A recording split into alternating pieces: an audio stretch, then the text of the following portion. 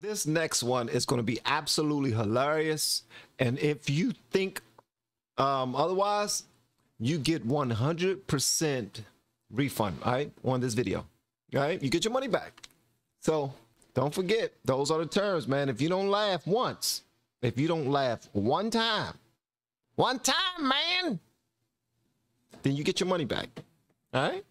So uh, let's let's check this out, man. I'm, I promise you, I promise you. You've interviewed Tulsi a bunch of times. I love Tulsi. She's incredible. She'd be an amazing president. I think. Hey, can you imagine if she was our vice president, right? If she was, we'd be like, oh, we can't wait. Like, yeah, he's he's done. Push him off a cliff. oh, great, that's gonna be trending. Joe Rogan, push him off a cliff. uh, that's not. I was saying that in jest, ladies and gentlemen. Only in jest. Was behind the bicycle incident. he said, push him off a cliff. That is not funny. Listen, listen. And I'm only laughing at that because um the timing was impeccable. The timing, the timing was impeccable. He wasn't saying it to, yeah, I want to push Joe Biden off a cliff. He wasn't saying that, but he was just, it was, it was just good comedic timing. You got to remember too, he's a comedian. That's what he is, and he's one of those shock comedians where he says things. All right, so here we go. We're they're about to start talking about Kamala Harris, and he's gonna do the funniest damn impression of her. Well, I I got mad when I saw it, so I, I know that it's funny. I was saying that in jest, ladies and gentlemen, only in jest. Was behind No. the bicycle incident. She's um she's unusual in that they keep trying to label her right wing too. She was literally a Democratic congresswoman for eight years. Yeah. She was a Democratic congresswoman from Hawaii, a woman of color, served uh, and uh, was deployed overseas twice in medical units. So dealing with people that are blown up. She's a great person. She's amazing. She's be an amazing leader. and Ron DeSantis is. yeah, but the thing is, like, they're Can scared just get- of her. let's they're get that fucking. group they're so scared of her. The Well, they're saying Tulsi. Who's this Tulsi young lady? Um, yeah, I would like to hear more about her because they seems like her resume is impeccable.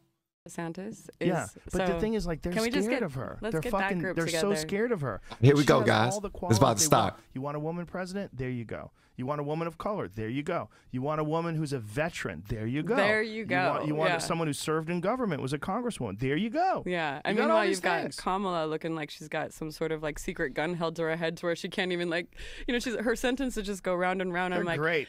She she makes It's me. about the passage of time. It's about time and passing time. It's not And that's fun. why we have watches.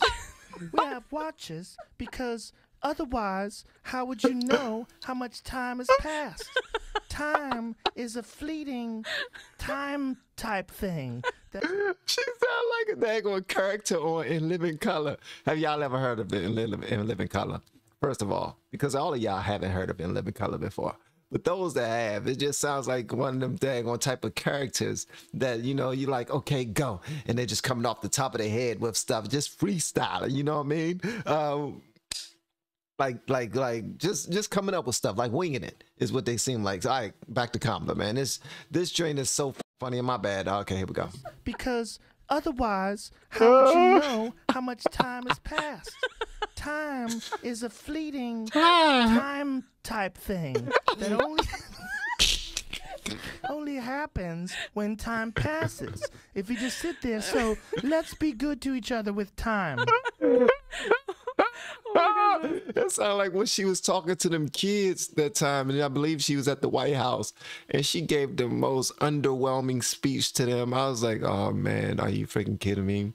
And then when she was talking about um, when she told the story about when she was a really small kid, and and and her and her her first word was freedom or something like that. I'm like, if you don't get the hell out of my face, okay. Let's be good to each other time.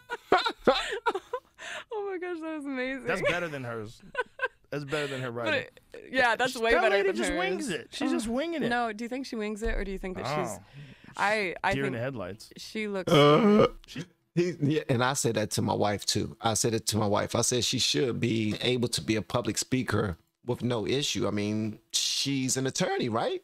So I'm guessing when it's time to attorney and you're you're doing your thing, you're not just going to be there just saying whatever the hell's on your mind at the time. You're not going to be winging it. You're going to be real comfortable in your position. This is what I do. This is what I went to school with. I mean, went to school for. So I'm sure she's probably good in that. I've never seen her I mean, do her thing in a in the um, court system or anything, but I can imagine most people are. I, I I believe that she is not a content creator. That's what it is. She is not a content creator, and people don't understand that it takes a certain level of comfortability and skill in order to do that. And as a matter of fact, you got to do that over and over and over again. You got to have repetitions, um, so that once the camera is on and the microphone is on, and you're asked question after question after question, um, you're nice and poised. You're seasoned when that happens like Joe Biden doesn't seem comfortable doing it. Um, Kamala seems horribly uncomfortable doing it, and it's a whole bunch of people out there who can't do it. As, as a matter of fact, there's people who are newscasters that still seem extremely uncomfortable when it comes to time to the camera and microphone. But hold on, we're not done yet. We're not done yet. Do you think she wings it, or do you think that she's? I I Deer in think the headlights. she looks scared. She should be scared. She looks absolutely petrified. She should be scared that they don't dig up her record and find out what she actually has done. Yeah.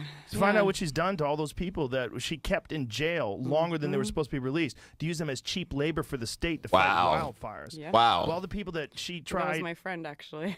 really? well, yeah, he was in one of those prisons. I think. Um, he. Get out of here. He- Yeah. Look, that lady laughed about whether or not she'd smoked marijuana after she put people in jail for it. Yeah. There, there's there's some evil that's involved in that kind of lack of compassion for human beings that she displayed. Hold on. She laughed about putting people in jail for marijuana. No, oh, she laughed about her smoking marijuana once or twice or smoking marijuana right now. You know what? That makes all the sense in the world, man. I just now checked out this this one video where a young lady by the name of Caitlin was walking around the people on the beach and she was just asking question after question after question after question. And the main question was, can a mother be a father? And they or or what is a father is what she was asking. Well, we done went the whole year of 2022 not being able to answer a question, what is a woman? Now people on the beach don't know how to answer a question, what is a father? Only two people out of all the 40 people she talked to was able to answer. But anyway, I said I blame it on weed. I blame it. I think weed is the problem, man. That's what I think. Yeah. Oh, yeah. I think weed is the problem, bruh. Because everybody can't handle it at all. Clearly, I can't, man. But she seemed like she's always high. That's what that is. Kamala Harris seems like she she's always like as soon as they put the the microphone in her face like that, as soon as they do that, that edible kicks in. And she's like, whoa.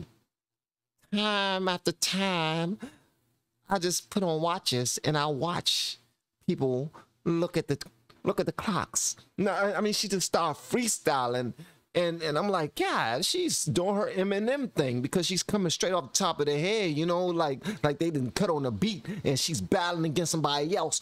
Yeah, coming off the head. Huh? With these lyrics, you about to be dead. Huh? I know your name ain't Fred, but it's not Chris, because if it was, I would cross like Chris across.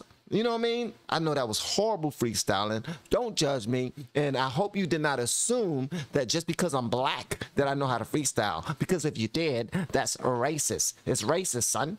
That's what it is. It's racist. Okay, here we go. Involved in that kind of lack of compassion for human beings that she displayed. And we, if we had a Tulsi right there, I don't think it would be a question. I think everybody would be like, "Great, okay, Yeah. next." Well, when Okay. she, when Tulsi sank Kamala Harris during the debate, so sweet. holy, That was sexy. that was sexy. Yeah. Well, they thought that Kamala was going to be the one, and Tulsi was like, "Hang on a second, Oh, because here's what's real." And when she said that, people were like, "What the f- is that real?" And then they started googling it, and that was the end. Yeah. That was the end. She literally fell out of candidacy right then until, like, and Wow. then meanwhile she was like, the the stuff that she said about Biden when he was running against her was horrible. Yeah. But then she's like, "It was a campaign." Did you see that interview she No. did with Colbert? no. She's like, Yeah, she did it say was that. a campaign. She did say that. oh no. You're supposed allowed- to say you're allowed nasty say things. You don't believe during I mean, a campaign. That's all yeah, you're supposed to lie. Do, right? You're supposed to freestyle. man. I'm Yeah. never, I'll never do that. You've Yeah, they both- they they be like snapping on each other real bad, pointing out the fact that their mother never went to college and all those things. and um, as soon as they're able to run with one another, they just like, yeah, we fought together and we know each other can fight. So now it's us against them. Now we got to hit them low, huh? Yeah, that's usually how it goes. And she was like, oh, it's a campaign. I didn't mean none of that. All the stuff I said about him, yeah, it was true. It was on his record and all that other stuff, but I only said it because I wanted the job. That's it. Huh? You can't respect it. Huh? But you know, that's their business. Um, but y'all let me know, man. Am I giving y'all a refund? Was it was it hilarious or not, huh? But yeah, come on, tell the truth and don't be just saying, listen, I want my watch back. I want my my my 10 minutes back. I want my like back. I want my super thanks back. Don't do none of that if you actually laugh because I know you laugh. He sounds just like Kamala. Go go and play it back. I bet you'd be like, man, he sounds just like Kamala. But per usual, I want to hear what y'all got to say about this in the comments below. And if you have yet to hit that subscribe button, please make sure you do so on your way out the door. Once again, guys, I'm Van, and now we are all the LFR family. And I look forward to seeing you on the next video, hopefully inside the Patreon as well. Y'all have been amazing per usual. Love y'all. Bye.